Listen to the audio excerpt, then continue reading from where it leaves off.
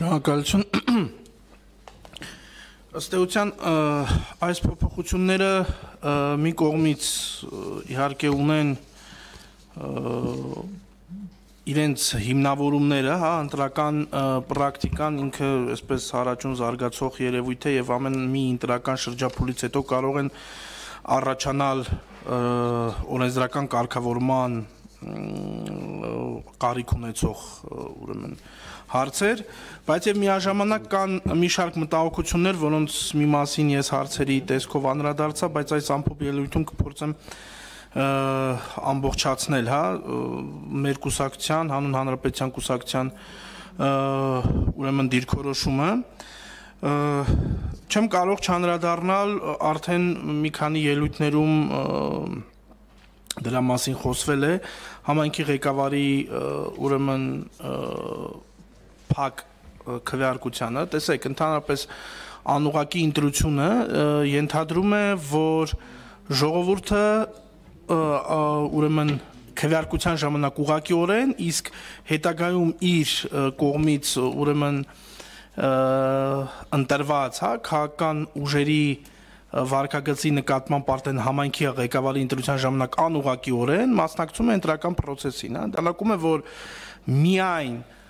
քվեարկության, օրինականության, ազատության, արդարության ապահովումը չի նշանակում, որ կոնկրետ անուղակի ընտրության պարագայում ուրեմն process-ը ավարտվում է հենց քվեարկությունից հետո եւ դրանից հետո արդեն ընտրողների մանդատը ստացած ուրեմն տվյալ պարագայում ավականու անդամները իրավասու են ինչպես ուզեն, այնպես էլ ուրեմն տնորինեն այդ մանդատները, հա։ Դա ըստ էության հատկապես մենք գնում ենք համամասնական ընտրակարգի արմատավորման, իսկ դա նշանակում է, որ յուրաքանչյուր քաղաքական գործիչ, յուրաքանչյուր ավականի, հա, յուրաքանչյուր падգամավոր ել ավելի մեծ քաղաքական պատասխանատվություն ունի նաև իր քաղաքական ուժի նկատմամբ, հա, քաղաքական լոյալությունը տվյալ դեպքում այն առաջնային ուրեմն բնորոշիչներից է, որը կարող է ի ցույց դնել արդյոք տվյալ դեպքում համամասնական ընտրակարգը երկրում կայացած է թե ոչ, հա, Մեծ Բրիտանիայում դա անգամ մտրակի ինստիտուտ կա, հա, որ հատուկ մարդիկ կան, որոնք ապահովում են կուսակցական կարգապահությունը, բայց կուսակցական կարգապահությունը եւ ընտրողների քաղաքական պատասխանատվությունը կարող է ապահովել միայն լիարժեք թափանցիկության պարագայում։ Դրա համար մենք գտնում ենք, որ փակ քվեարկությունը միայն ի վնաս կարող է ծառայել համամասնական ընտրակարգի հետագա զարգացմանը կամ եկեք վերադառնանք ուրեմն տվյալ պարագայում թիմ ընտրություններում նախորդ համակարգին կամ եթե գնում ենք համամասնական ընտրակարգով ընտրությունների ուրեմն պետք է տվյալ դեպքում ապահովել նաև քվեարկության արդյունքում ձևավորված քաղաքական համամասնության լիարժեք արտահայտմանը ուրեմն համայնքային հիմնական պաշտոնների բաշխման տվյալ դեպքում նախ եւ առաջ համայնքի ղեկավարի ընտրության հարցում ցավոք սրտի թե բարեբախտաբար մեր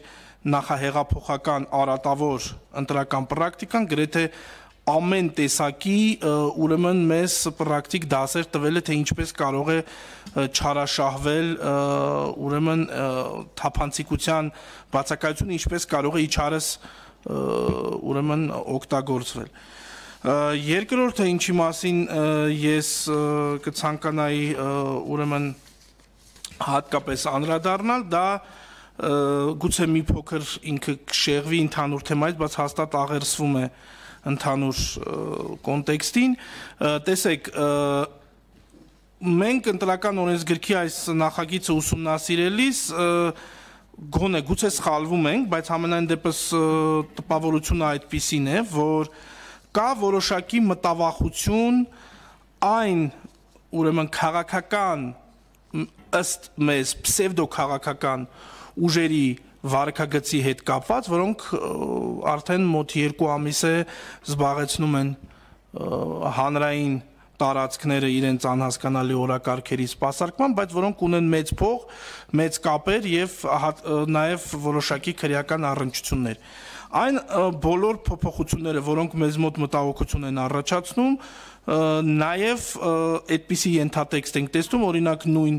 բուժ հաստատությունների մասով, քանի որ մենք լավ գիտենք, թե օրինակ Երևան քաղաքում ում են պատկանում բուժ հաստատությունների մեծամասնությունը եւ այո, այդտեղ տեղի են ունենում չարաշահումներ, այո, շատ հայտնի